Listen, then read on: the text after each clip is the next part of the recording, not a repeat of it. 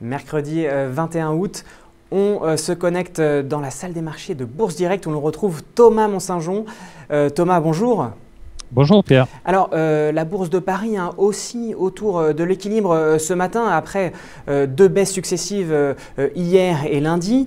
Aujourd'hui eh bien les marchés ont, les yeux rivés hein, sur les États-Unis où l'on attend à 20h donc après séance les fameuses minutes de la Fed où l'on saura un peu plus hein, sur la suite de, la politique de, de, la Banque centrale américaine, notamment sur une politique du QE3 un peu plus restrictive. Euh, cette journée, du coup, euh, va être un peu euh, au point mort, Thomas?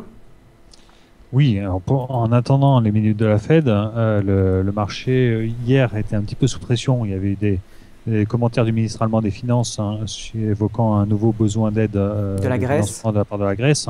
Ça a appuyé un petit peu le marché et puis c'était vraiment l'incertitude sur les minutes de la Fed et le QE3 que vous, vous parliez. Euh, Tokyo, euh, ce matin, euh, avait débuté la séance en belle baisse, moins 2%, avant de finir finalement en légère hausse, plus 0,20%, ce qui est un petit peu rassuré. La grande indécision prédomine sur l'ensemble des marchés. le marché d'échange quasi stable, toujours en attendant la Fed. Les obligations US complètement stables pour le moment.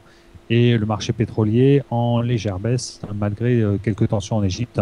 Donc, pas grand chose à dire euh, pendant sur le marché. Tout le monde reste focalisé. On attend 20 heures et en espérant qu'on aura euh, beaucoup de choses à dire après cette euh, réunion et les minutes de la fête.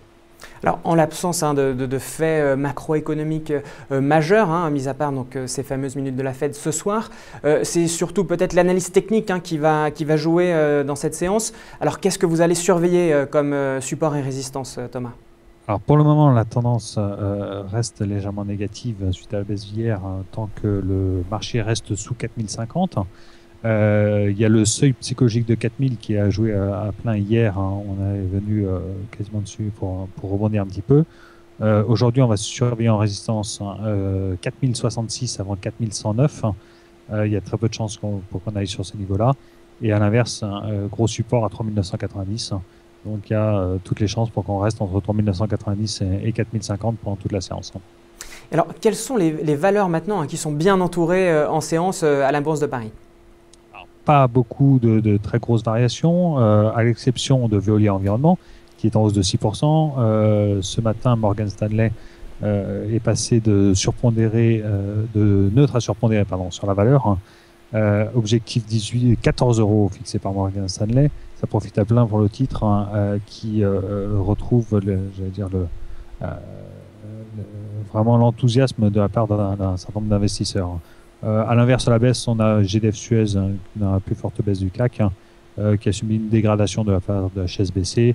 Euh, mais pour le moment, la baisse reste assez raisonnable, en baisse de, de l'ordre de 1% à 30% en mi-séance. Alors à Wall Street, hein, maintenant, le, S&P 500 et, le Nasdaq ont terminé en hausse euh, hier après euh, quatre séances consécutives de baisse. Euh, le Dow Jones, lui, a terminé en très légère baisse.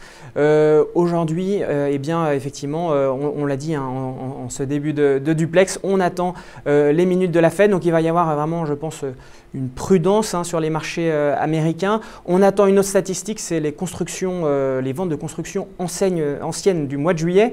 dans quelle mesure ça peut jouer sur la tendance euh, cet après-midi alors pour le moment, euh, effectivement, le, marché restera relativement calme. Hier soir, hein, on a eu euh, quelques bons résultats. C'est ce qui a un petit peu le, marché et permis de, terminer dans le vert pour le S&P et le Nasdaq, notamment dans la distribution électronique grand public avec Best Buy, qui a terminé la séance en hausse de 13% avec des résultats supérieurs aux attentes. Aujourd'hui, vente de logements anciens à 16 heures ça ne devrait pas avoir une très grosse influence. Et euh, les résultats de Wallet Packard euh, en post-séance. Mais tout le monde reste focalisé euh, sur le, les minutes de la Fed à 20h. Et je pense que le marché restera très calme jusqu'à 20h avant éventuellement de s'agiter un petit peu en fonction de ce qui en ressortira.